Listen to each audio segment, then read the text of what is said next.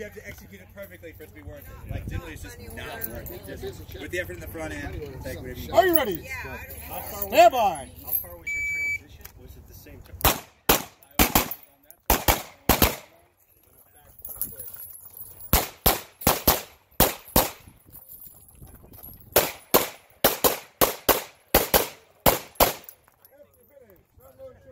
Thank you.